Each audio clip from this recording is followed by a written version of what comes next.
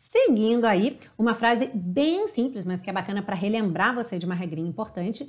I'm tired of playing on the team. Estou cansado de jogar no time.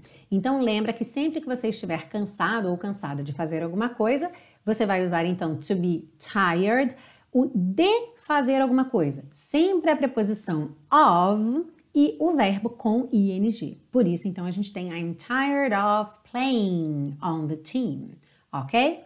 Então, digamos que você sempre repete a mesma coisa para uma pessoa, pode ser talvez seu melhor amigo, sua melhor amiga, e aí um dia você fala, ah, estou cansado ou cansada de repetir isso. How would you say that in English?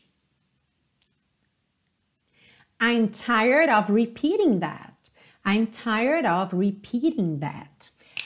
One on one, I wanna play that game tonight. One on one, I wanna play that one on one. I wanna play that game tonight. One on one, so slow. Mm-hmm. Ah,